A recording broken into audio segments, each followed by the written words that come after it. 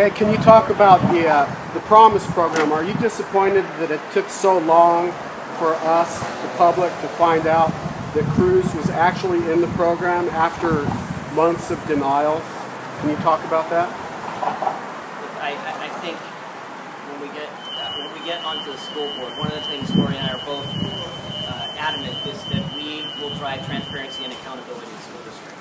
We, we need to make sure that we're clear with the voters uh, what's happening within the school district and that uh, we clearly communicate this to us. Do you think the school district head should be replaced? This isn't about replacing the superintendent. This is about making sure that the administration is effective in delivering a quality education to the students of Broward County and to make sure they're safe. Do y'all think the superintendent should be removed from his post? No, I think that Superintendent Runcie, he's a good person, that he has made a lot of positive, uh, he implemented a lot of changes into the Broward schools.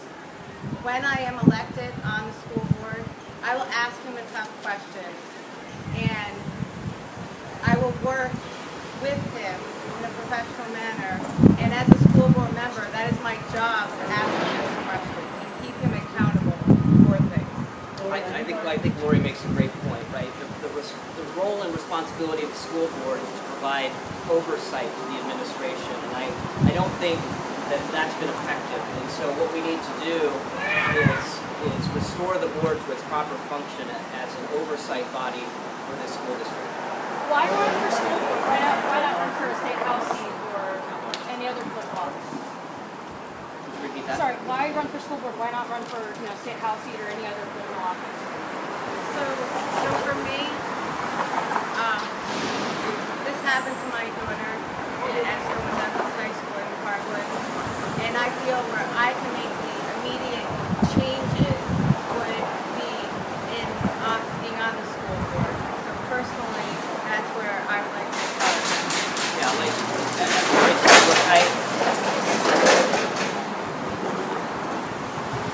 prior to, to Valentine's Day, I didn't understand the impact that the school board and the policies of the school district have on our schools. My wife and I have always been very active uh, in our in our children's education. We we volunteered at schools. We've been there for our kids.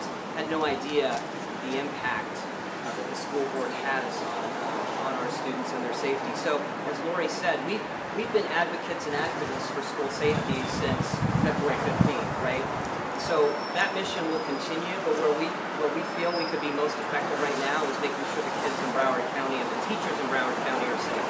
Were you inspired by some of the students' reaction after the shooting as well? Well, I think everybody's inspired by the activism. The, the attention that's been brought to this issue has, uh, I think, has captivated everybody's attention.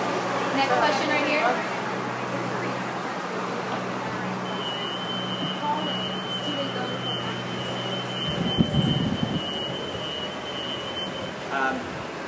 I, I'm, I'm running for school board. It really, that's really a question for, uh, you know, perhaps another day. Can I ask you? Can I ask you? Uh, the department that oversees the Promise program at the school district, for years was accessing federal grants without the knowledge or approval of the district and the board members. Is that something you would look into, or would you hope to have more control over where the individual departments get their funding? Yes, I think that we definitely will look into that, and we will hold people accountable for what they've done and, and what they've implemented. Thank you. Thank you, everyone. Thank you. We appreciate it.